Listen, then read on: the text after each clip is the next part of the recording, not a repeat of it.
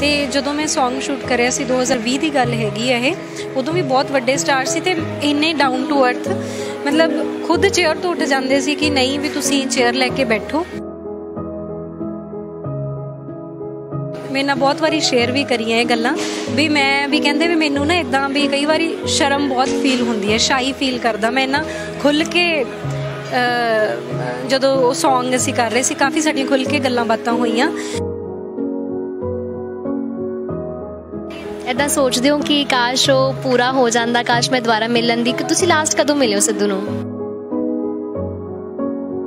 ਤੇ ਉਦੋਂ ਉਹਨਾਂ ਨੇ ਮੇਰੇ ਨਾਲ ਵਾਅਦਾ ਕਰਿਆ ਸੀਗਾ ਕਿ ਅਗਰ ਮੈਂ ਵਿਆਹ ਤੇ ਨਾ ਪਹੁੰਚ ਸਕਿਆ, ਤਾਂ ਮੈਂ ਤੇਰੇ ਕਹਿੰਦਾ ਸਪੈਸ਼ਲ ਮੈਂ ਘਰ ਆ ਕੇ ਜਾਊਂਗਾ। ਇਹ ਕਹਿੰਦਾ ਮੇਰਾ ਵਾਅਦਾ ਰਿਹਾ। ਜਿਸ ਦਿਨ ਮੈਰਿਜ ਸੀ, ਮੈਨੂੰ ਉਸ ਦਿਨ ਵੀ ਉਹਨਾਂ ਤੋਂ ਵੌਇਸ ਮੈਸੇਜ ਆਇਆ। ਤੇ ਉਹ ਕਹਿੰਦੇ ਵੀ ਮੈਂ ਤੇਰੇ ਨਾਲ ਪ੍ਰੋਮਿਸ ਕਰਦਾ ਵੀ ਮੈਂ ਵੀ ਜ਼ਰੂਰ ਆਉਂਗਾ ਫ੍ਰੀ ਹੋ ਕੇ।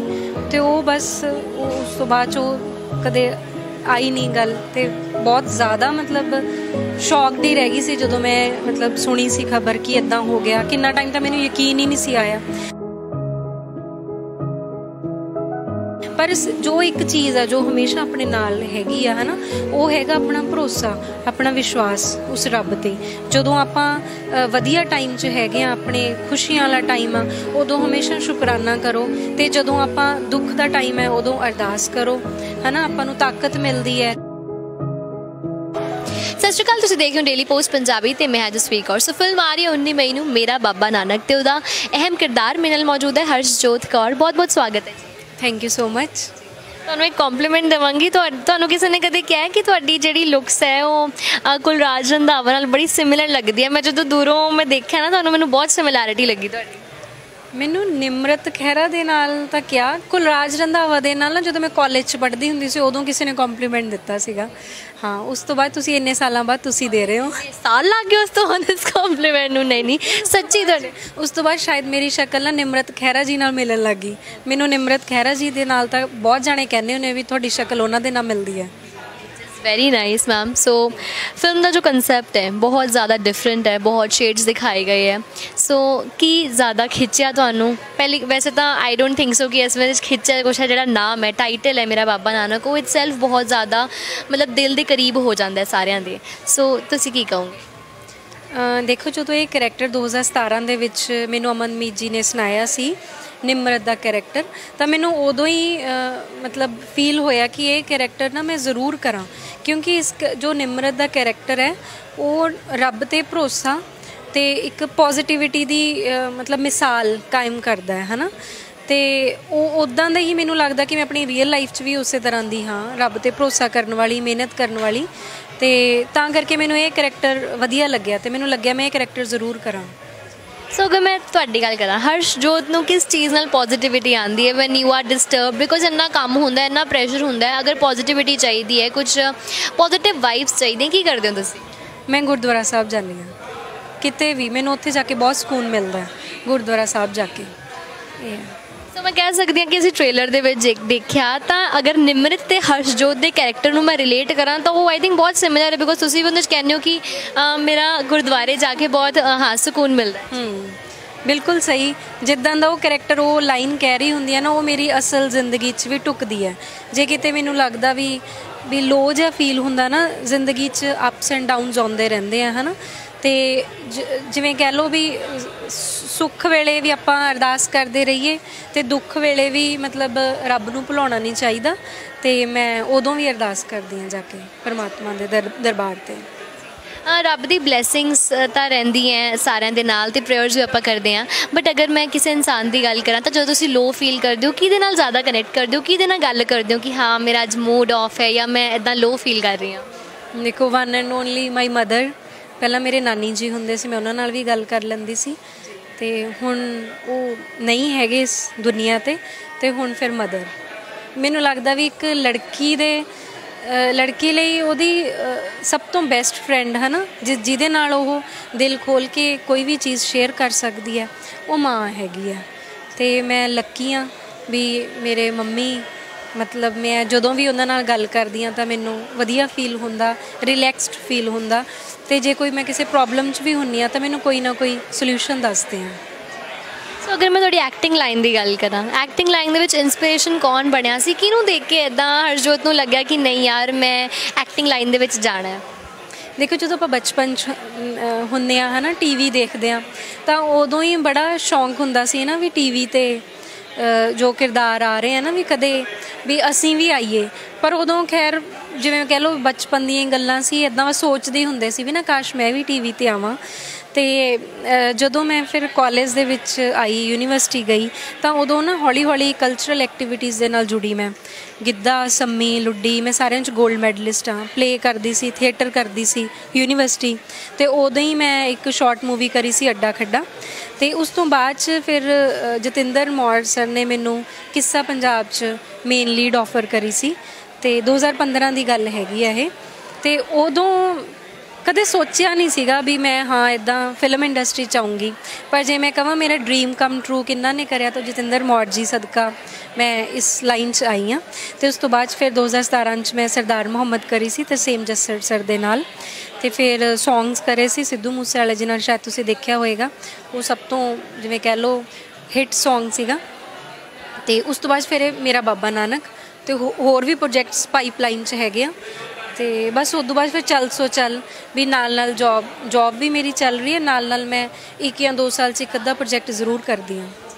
ਸਿੱਧੂ ਮੂਸੇਵਾਲੇ ਦੀ ਗੱਲ ਤੁਸੀਂ ਛੇੜੀ, ਕਦੇ ਆਈ ਨੋ ਬਹੁਤ ਜ਼ਿਆਦਾ ਕਨੈਕਟ ਕਰਦੇ ਹਾਂ ਆਪਾਂ ਸਾਰਿਆਂ, ਸਾਰੇ ਉਹਨਾਂ ਨਾਲ।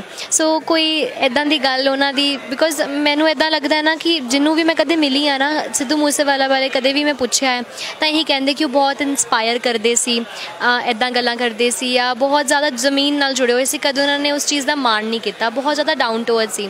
ਤਾਂ ਤੁਹਾਡੇ ਨਾਲ ਉਹਨਾਂ ਦਾ ਸ਼ੂਟ ਦਾ ਐਕਸਪੀਰੀਅੰਸ ਕਿੱਦਾਂ ਰਿਹਾ? ਕੋਈ ਕੋਈ ਗੱਲ ਉਹਨਾਂ ਨਾਲ ਸਾਂਝੀ ਕਰਨਾ ਚਾਹੋ ਤੁਸੀਂ? ਦੇਖੋ, ਕਿੱਡੇ ਵੱਡੇ ਸਟਾਰ ਸੀ ਉਦੋਂ, ਹਨਾ? ਜਦੋਂ, ਵੈਸੇ ਸਟਾਰ ਤਾਂ ਹੁਣ ਵੀ ਨੇ ਤੇ ਰਹਿੰਦੀ ਦੁਨੀਆ ਤੱਕ ਰਹਿਣਗੇ। ਤੇ ਜਦੋਂ ਮੈਂ Song ਸ਼ੂਟ ਕਰਿਆ ਸੀ 2020 ਦੀ ਗੱਲ ਹੈਗੀ ਹੈ ਇਹ, ਉਦੋਂ ਵੀ ਬਹੁਤ ਵੱਡੇ ਸਟਾਰ ਸੀ ਤੇ ਇੰਨੇ ਡਾਊਨ ਟੂ ਅਰਥ ਮਤਲਬ ਖੁਦ ਚੇਅਰ ਤੋਂ ਉੱਠ ਜਾਂਦੇ ਸੀ ਕਿ ਨਹੀਂ ਵੀ ਤੁਸੀਂ ਚੇਅਰ ਲੈ ਕੇ ਬੈਠੋ। ਤੇ ਮੈਨੂੰ ਉਹਨਾਂ ਨੇ ਕਹਿਣਾ ਕਿ ਵੀ ਮਤਲਬ ਵੀ ਮੈਂ ਨਰਵਸ ਫੀਲ ਕਰ ਰਿਹਾ ਹੈਗਾ, ਕਿਉਂਕਿ ਉਹ ਜਿੱਦਾਂ ਕਈਆਂ ਨੂੰ ਪਤਾ ਜਿਹੜੇ ਉਹਨਾਂ ਨੇੜੇ ਰਹਿਣ ਵਾਲੇ ਨੇ, ਉਹ ਬਹੁਤ ਸੰਗਾਊ ਕਿਸਮ ਦੇ ਸ਼ਾਈ ਬਹੁਤ ਸ਼ਾਈ ਟਾਈਪ ਇਨਸਾਨ ਸੀਗੇ। ਤੇ ਉਦੋਂ ਉਹਨਾਂ ਨੇ ਮੇਰੇ ਨਾਲ ਬਹੁਤ ਵਾਰੀ ਸ਼ੇਅਰ ਵੀ ਕਰੀਆਂ ਇਹ ਗੱਲਾਂ। ਵੀ ਮੈਂ, ਵੀ ਕਹਿੰਦੇ ਵੀ ਮੈਨੂੰ ਨਾ ਇਦਾਂ ਵੀ ਕਈ ਵਾਰੀ ਸ਼ਰਮ ਬਹੁਤ ਫੀਲ ਹੁੰਦੀ ਹੈ ਸ਼ਾਈ ਫੀਲ ਕਰਦਾ। ਮੈਂ ਨਾ ਖੁੱਲ ਕੇ ਜਦੋਂ ਉਹ Song ਅਸੀਂ ਕਰ ਰਹੇ ਸੀ, ਕਾਫੀ ਸਾਡੀਆਂ ਖੁੱਲ ਕੇ ਗੱਲਾਂ ਬਾਤਾਂ ਹੋਈਆਂ। ਤੇ ਬਹੁਤ ਸਾਰੇ ਪਹਿਲੂ ਜਿਹੜੇ ਕਿ ਆਪਾਂ ਨੂੰ ਐਜ਼ ਐਨ ਐਕਟਰ ਉਹਨਾਂ ਦੇ ਨਹੀਂ ਪਤਾ, ਹਨਾ? As an singer as a singer ਨਹੀਂ ਪਤਾ, ਹਨਾ? ਤਾਂ ਉਹ ਨਾਲ ਰਹਿ ਕੇ ਪਤਾ ਚੱਲਦੀਆਂ ਨੇਗੀਆਂ ਗੱਲਾਂ ਉਹਨਾਂ ਬਾਰੇ। ਤਾਂ ਮੈਨੂੰ ਲੱਗਦਾ ਮੈਂ ਬਹੁਤ ਲੱਕੀ ਹੈਗੀ ਆ ਹਨਾ? ਵੀ ਮੈਨੂੰ ਉਹਨਾਂ ਦੇ ਨਾਲ ਟਾਈਮ ਸਪੈਂਡ ਕਰਨ ਦਾ ਮੌਕਾ ਮਿਲਿਆ। ਬਹੁਤ ਹੀ ਡਾਊਨ ਟੂ ਅਰਥ ਕੁੜੀਆਂ ਦੀ ਇੱਜ਼ਤ ਕਰਨ ਵਾਲੇ ਸਹੀ ਮਾਨ- ਮਾਇਨਿਆਂ ਦੇ ਵਿੱਚ, ਹਨਾ? ਤੇ ਇੱਕ ਪਰਿਵਾਰਿਕ ਲੜਕਾ ਜਿਵੇਂ ਆਪਾਂ ਕਹਿ ਸਕਦੇ ਹਾਂ ਨਾ ਉਦਾਂ ਦੇ ਸੀ ਫੈਮਿਲੀ ਪਰਸਨ ਮੈਨੂੰ ਵਧੀਆ ਲੱਗਿਆ ਉਹਨਾਂ ਦੇ ਨਾਲ ਕੰਮ ਕਰਕੇ ਤੇ ਹੁਣ ਵੀ ਮੈਂ ਜਿਹੜੀਆਂ ਸਾਡੀਆਂ ਮੈਮਰੀਜ਼ ਮੈਂ ਚੈਰਿਸ਼ ਕਰਦੀ ਹਾਂ ਉਹਨਾਂ ਦੀਆਂ। ਤੇ ਉਹਨਾਂ ਨੇ ਮੇਰੇ ਨਾਲ ਵਾਅਦਾ ਵੀ ਕਰਿਆ ਸੀਗਾ ਕਿ ਮੈਂ ਵੀ ਇੱਕ ਵਾਰੀ ਜਦੋਂ ਵੀ ਮੈਂ ਕਦੇ ਮੇਰਾ ਬਰਨਾਲਾ ਚੱਕਰ ਲੱਗਿਆ ਵੀ ਮੈਂ ਤੁਹਾਡੇ ਕੋਲ ਆ ਕੇ ਜਾਊਂਗਾ। ਪਰ ਉਹ ਸੁਪਨਾ ਹੀ ਰਹਿ ਗਿਆ ਨਹੀਂ ਆ ਸਕੇ ਉਹ। ਇਦਾਂ ਸੋਚਦੇ ਹੋ ਕਿ ਕਾਸ਼ ਉਹ ਪੂਰਾ ਹੋ ਜਾਂਦਾ ਕਾਸ਼ ਮੈਂ ਦੁਬਾਰਾ ਮਿਲਣ ਦੀ ਕਿ ਤੁਸੀਂ ਲਾਸਟ ਕਦੋਂ ਮਿਲੇ ਹੋ ਸਿੱਧੂ ਨੂੰ? ਮੈਂ ਲਾਸਟ ਮਿਲੀ ਸੀ ਇੱਕ ਸ਼ੂਟਿੰਗ ਤੋਂ ਬਾਅਦ ਮੈਂ ਨਾ ਮੈਰਿਜ ਤੇ ਇਨਵਾਈਟ ਕਰਨ ਲਈ ਗਈ ਸੀ ਉਹਨਾਂ ਨੂੰ। ਉਦੋਂ ਉਹਨਾਂ ਦੀ ਮੂਵੀ ਦੀ ਸ਼ੂਟ ਚੱਲ ਰਹੀ ਸੀਗੀ ਮੂਸਾ ਜੱਟ ਦੀ। ਮੈਂ ਉਹਨਾਂ ਦੇ ਪਿੰਡ ਮਾਨਸਾ ਹੀ ਉਹਨਾਂ ਨੂੰ ਮਿਲੀ ਸੀਗੀ ਉੱਥੇ। ਤੇ ਉਦੋਂ ਉਹਨਾਂ ਨੇ ਮੇਰੇ ਨਾਲ ਵਾਅਦਾ ਕਰਿਆ ਸੀਗਾ ਕਿ ਅਗਰ ਮੈਂ ਵਿਆਹ ਤੇ ਨਾ ਪਹੁੰਚ ਸਕਿਆ ਤਾਂ ਮੈਂ, ਤੇਰੇ ਕਹਿੰਦਾ ਸਪੈਸ਼ਲ ਮੈਂ ਘਰ ਆ ਕੇ ਜਾਊਂਗਾ। ਇਹ ਕਹਿੰਦੇ ਮੇਰਾ ਵਾਅਦਾ ਰਿਹਾ। ਜਿਸ ਦਿਨ ਮੈਰਿਜ ਸੀ, ਮੈਨੂੰ ਉਸ ਦਿਨ ਵੀ ਉਹਨਾਂ ਦਾ ਵੌਇਸ ਮੈਸੇਜ ਆਇਆ ਵੀ ਅੱਜ ਮੈਂ ਉਹਨਾਂ ਨੂੰ ਕਿਸੇ ਕਾਰਨ ਦਿੱਲੀ ਜਾਣਾ ਪੈ ਗਿਆ ਸੀ। ਉਦੋਂ ਕਿਸਾਨ ਯੂਨੀਅਨ ਵਾਲੇ ਜਿਹੜੇ ਧਰਨਾ ਚੱਲ ਰਿਹਾ ਸੀ ਉੱਥੇ ਦਿੱਲੀ, ਤੇ ਉਹ ਕਹਿੰਦੇ ਵੀ ਮੈਂ ਤੇਰੇ ਨਾਲ ਪ੍ਰੋਮਿਸ ਕਰਦਾ ਵੀ ਮੈਂ ਵੀ ਜ਼ਰੂਰ ਆਉਂਗਾ ਫ੍ਰੀ ਹੋ ਕੇ। ਤੇ ਉਹ ਬਸ ਉਸ ਤੋਂ ਬਾਅਦ 'ਚ ਉਹ ਕਦੇ ਆਈ ਨਹੀਂ ਗੱਲ ਤੇ ਬਹੁਤ ਜ਼ਿਆਦਾ ਮਤਲਬ ਸ਼ੌਕਡ ਹੀ ਰਹਿ ਗਈ ਸੀ ਜਦੋਂ ਮੈਂ ਮਤਲਬ ਸੁਣੀ ਸੀ ਖਬਰ ਕਿ ਇਦਾਂ ਹੋ ਗਿਆ। ਕਿੰਨਾ ਟਾਈਮ ਤਾਂ ਮੈਨੂੰ ਯਕੀਨ ਹੀ ਨਹੀਂ ਸੀ ਆਇਆ। ਤੇ ਮੈਂ ਸੋਚਦੀ ਸੀ ਵੀ ਹੈ ਨਾ ਕੁਝ ਗੱਲਾਂ ਵੀ ਇਨਸਾਨ ਆਪਾਂ ਕਰ ਦਿੰਦੇ ਹਾਂ, ਪਰ ਆਪਾਂ ਨੂੰ ਨਹੀਂ ਪਤਾ ਹੁੰਦਾ ਨਾ ਕਿ ਆਉਣ ਵਾਲੀ ਜ਼ਿੰਦਗੀ 'ਚ ਕੀ ਹੋਣ ਵਾਲਾ। ਜੇ ਇਦਾਂ ਹੀ ਪਤਾ ਹੁੰਦਾ ਮੈਨੂੰ ਵੀ ਇਦਾਂ ਮਤਲਬ ਹੋ ਜਾਏਗਾ ਆਉਣ ਵਾਲੇ ਟਾਈਮ 'ਚ, ਤਾਂ ਹੋ ਸਕਦਾ। ਬਸ ਜਿਵੇਂ ਕਹਿੰਦੇ, ਜੇ ਹੋ ਜਾਂਦੀ ਆ, ਹਨਾ, ਵੀ ਮੈਂ ਪਹਿਲਾਂ ਹੀ ਕਹਿ ਦਿੰਦੀ ਵੀ ਨਹੀਂ, ਵੀ ਹੁਣੀ ਮੈਨੂੰ ਮਿਲ ਕੇ ਜਾਓ ਜਾਂ ਤੁਸੀਂ ਹੁਣੀ ਆਓ, ਕਿਉਂਕਿ ਉਹ ਜੋ ਵਾਅਦਾ ਕਰਦੇ ਸੀ, ਉਹ ਜ਼ਰੂਰ ਪੂਰਾ ਕਰਦੇ ਸੀਗੇ।